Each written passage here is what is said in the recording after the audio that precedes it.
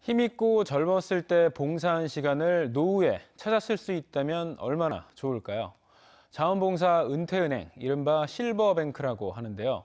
세종시에서 전국에서 처음으로 도입했는데 자원봉사의 가치를 더욱 높이고 있습니다. 김세범 기자입니다. 30여 년을 자원봉사에 매진했던 미내식 할머니.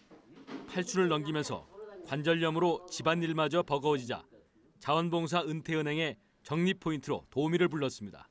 엄두도 못 내던 청소와 창고 정리까지 이루어져 구석구석이 다 환해졌습니다.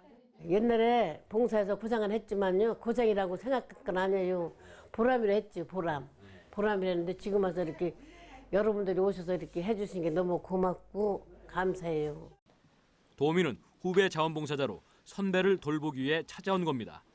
자원봉사 선배도 돌보고 또 자신에 대한 투자라 기쁜 마음으로 나섰습니다.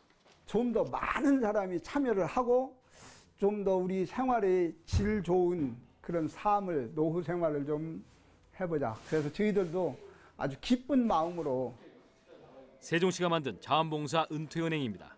젊었을 때 봉사한 시간을 노후에 찾아 쓰는 건데 자원봉사자가 봉사한 시간을 1365 나눔 포탈에 적립했다가 만 65세가 되면 필요할 때 찾아 쓰는 시스템입니다. 누적 시간이 100시간 이상이면 가사 도움이나 말벗, 1000시간 이상이 되면 간병까지 도움을 받을 수 있습니다. 전국에서 처음 시도한 세종시는 간병비를 현금으로 지원받을 수 있도록 하거나 집수리 등 항목도 다양화할 방침입니다. 좀 더 범위를 넓혀서 확대시켜서 어, 더 많은 서비스를 받을 수 있는 그런 어, 프로그램도 한번 개발을 해볼 그런 계획으로 있습니다. 묵묵한 헌신에 보상을 선물하는 은퇴은행이 자원봉사의 의미를 값지게 하고 있습니다. TJB 김세범입니다.